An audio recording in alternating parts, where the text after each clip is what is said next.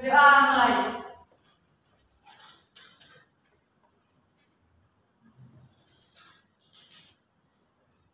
Doa selesai. Nah, selanjutnya kita akan melakukan atensi kepada kalian. Yang pertama, Mbak Eliza, Hadirohku, Mbak Fira, Hadiroh, Mbak Nida, hadiroh, Nafis, hadiroh, Mbak Tika, Adhiratha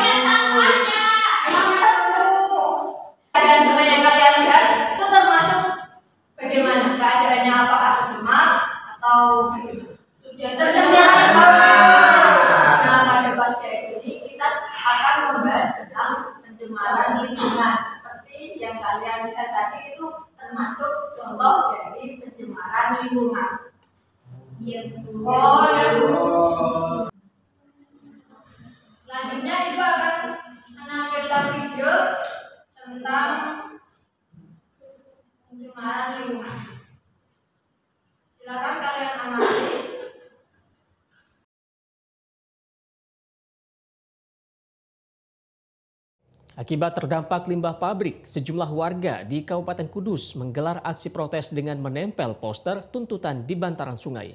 Tak hanya masyarakat yang terganggu, ekosistem air tawar di sepanjang sungai juga rusak akibat limbah pabrik ini. Beginilah kondisi Sungai Pendo yang melintas di Desa Menjobo, Kecamatan Menjobo, Kudus.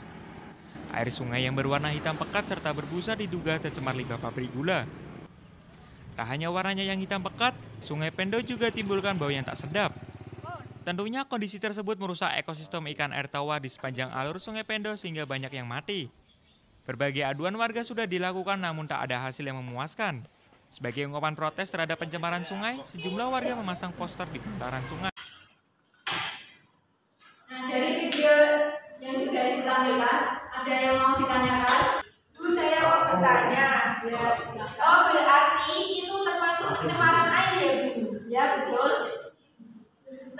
eh, apakah pencemaran air itu termasuk pencemaran lingkungan, Bu? Nah, dari pertanyaan Mbak Hikmatul tadi, apakah ada yang ingin menjawab?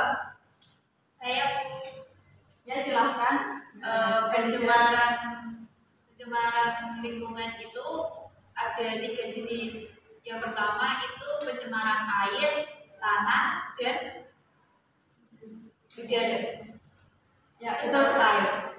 pencemaran lingkungan itu ada tiga, yaitu pencemaran air, pencemaran udara, dan pencemaran tanah. Definisi dari pencemaran lingkungan sendiri itu perubahan pada lingkungan yang tidak diinginkan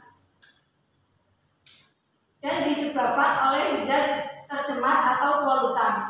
Zat polutan ini mempengaruhi kesehatan dan kegiatan makhluk hidup. Nah sekarang kalian menjadi dua kelompok. Kelompok yang pertama kelompoknya Mbak Eliza, Mbak Fira, Mida, Nafis, dan Mas Fuad. Dan yang kelompok kedua Mbak Desi, Mbak Tika, Mbak Hikmatul, Mbak Fiana, dan Mas Samsul. Silakan kalian bergabung dengan kelompoknya Nah, masing-masing.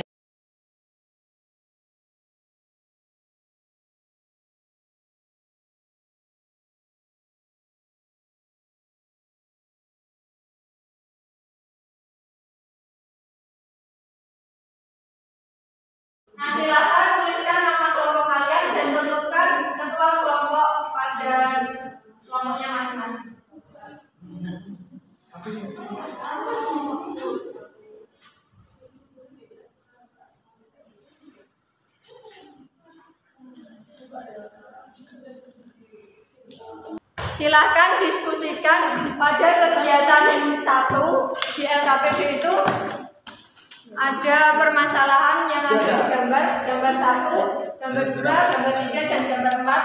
Nanti presentasikan di depan kelas hasil diskusi kalian.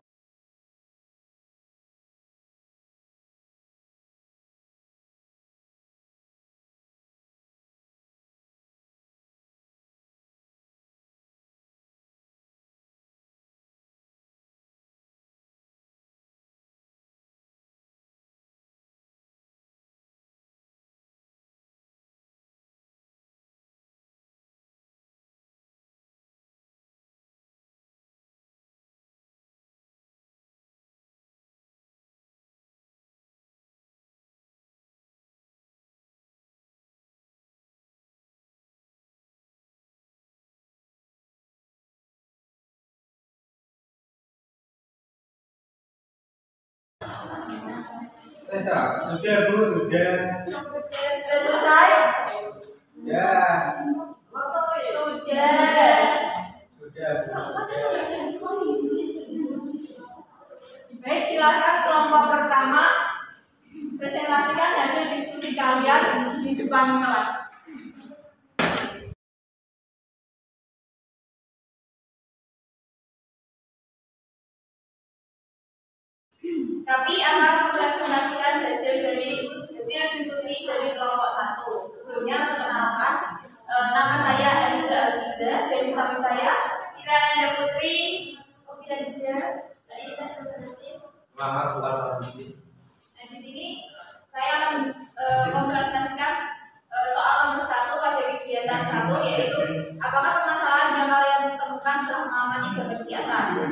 Gambar satu, tiga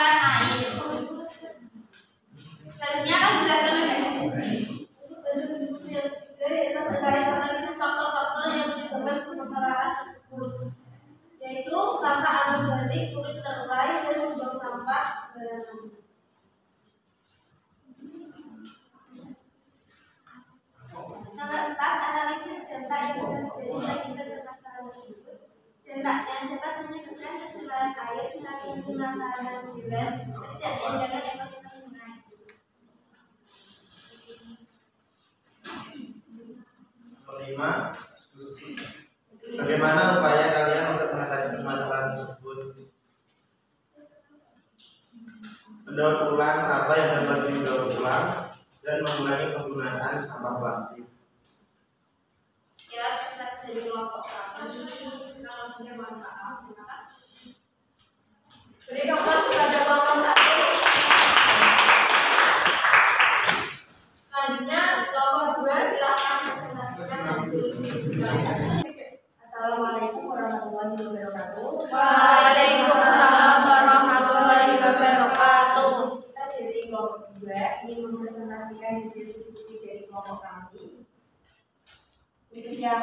Pertama yaitu apakah permasalahan yang kalian temukan setelah mengamati gambar di atas untuk gambar 1, 3, dan 4 yaitu sampah yang menumpuk di perairan dan tidak bisa mengalir sehingga menyebabkan air menjadi keruh. Untuk gambar kedua yaitu lingkungan bersih tanpa sampah. Untuk nomor dua akan disampaikan oleh Mbak Hikmatul. Eh, di sini saya akan menjawab pertanyaan nomor dua ya. Pertanyaannya, apa yang kalian ketahui tentang permasalahan tersebut? Nah, jawabannya yakni penumpukan sampah-sampah plastik yang tidak bisa terurai yang menyebabkan terjadinya banjir. Eh, untuk pertanyaan nomor tiga akan dijawab oleh Mbak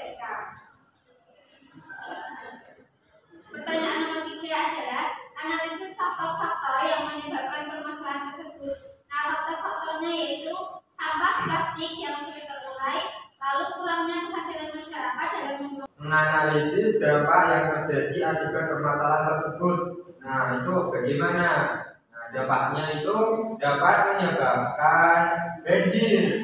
Seperti itu ada biota air mati, terus sumber air bersihnya berkurang. Untuk soal nomor lima Diskusikan dengan kelompok kalian bagaimana upaya kalian untuk mengatasi permasalahan tersebut. sebenarnya upaya mengatasinya dengan mendaur ulang sampah plastik Gunakan ada sebelumnya ketika membuang sampah pada tempatnya. Sekian presentasi dari kelompok kedua. Wassalamualaikum warahmatullahi wabarakatuh. Waalaikumsalam warahmatullahi wabarakatuh. Kesimpulan dari presentasi yang sudah dipresentasikan oleh kelompok tadi, yang pertama itu tentang pencemaran lingkungan itu merupakan perubahan lingkungan yang tidak diinginkan yang disebabkan oleh zat tercemar atau polutan dan zat tercemar ini dapat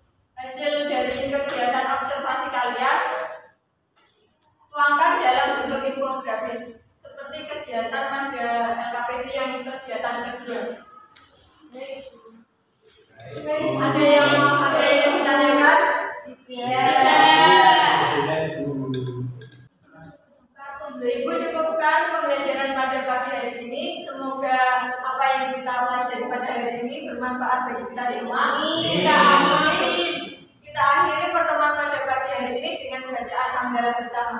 Alhamdulillah.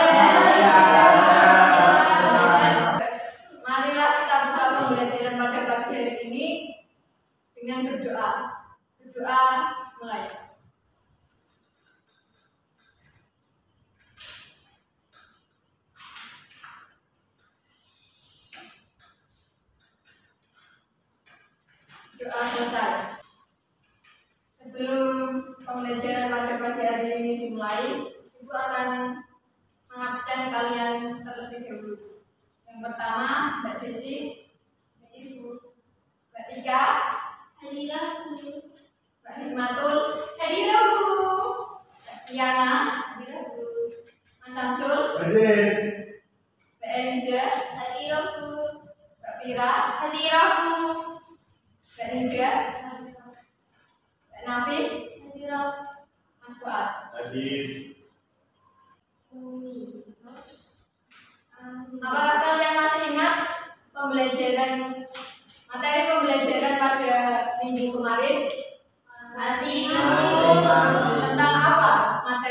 Yeah.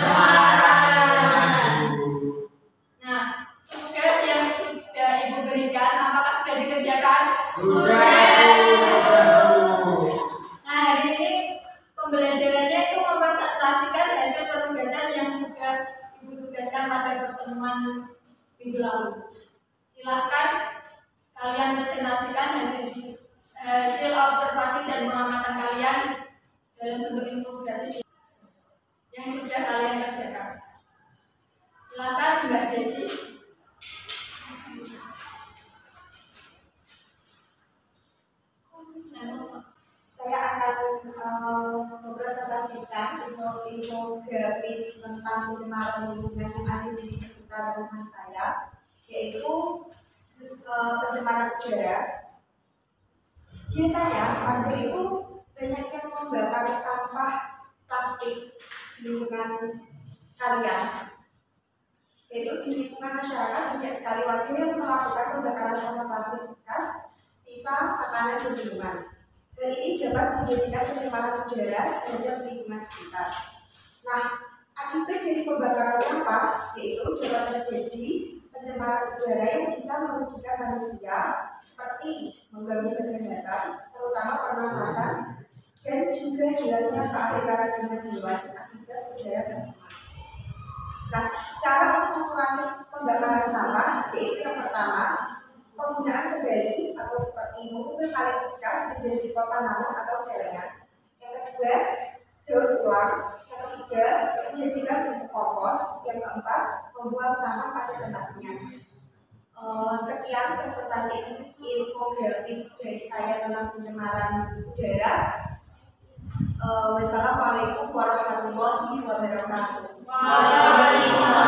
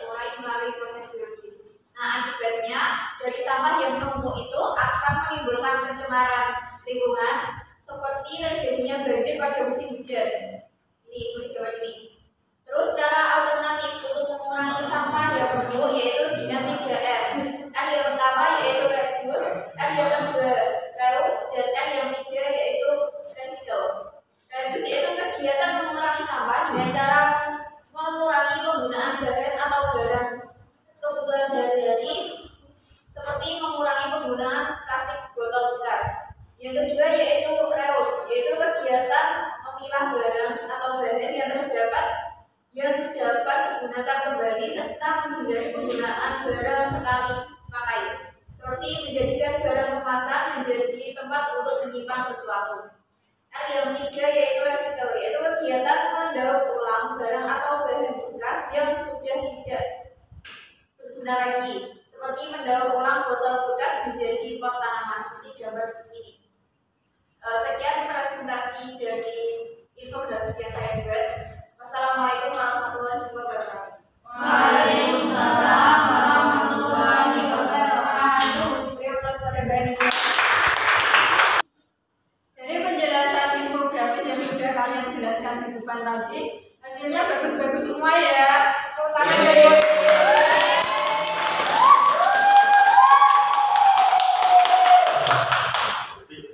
Nah, kesimpulan dari penjelasan infografis atau pengamatan yang sudah kalian lakukan, upaya apa yang sudah kalian lakukan untuk mengurangi pencemaran lingkungan di sekitar kalian yang seperti yang sudah dijelaskan oleh Mbak Desi tadi.